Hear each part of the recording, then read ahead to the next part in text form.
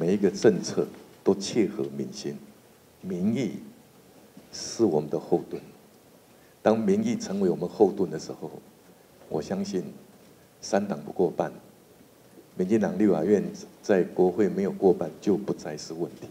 正前方，好，三、二、一，好，再看一下右前方的媒体朋友。我要更更要感谢大家，在国家需要的时候，大家愿意共同承担这份责任，尤其是无畏于立法院三党不过半的勇气，更是令人钦佩啊！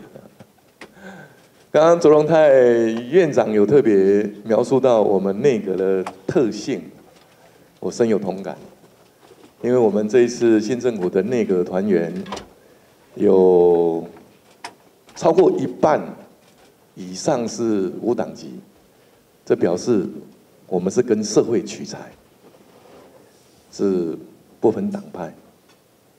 另外呢，我们新的阁员有超过百分之八十，代表我们希望为台湾的社会啊注入更多、更新、更有的力的力量，让台湾能够更好。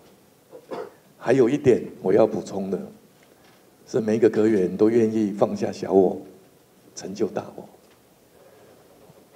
我就不明说，但是我们都很清楚，社会上应该也看得出来。那么有一些阁员，其实在他的领域里面有非常杰出的表现，他也位居高位。其实正是他享受生活的时候，但是他忘忘意愿意放下享受，来承担这个责任。立法院虽然三党不过半，势必会有更多的折腾。但是我们有立法院党团做我们的后盾，我们是一个团队。如果我们做得好，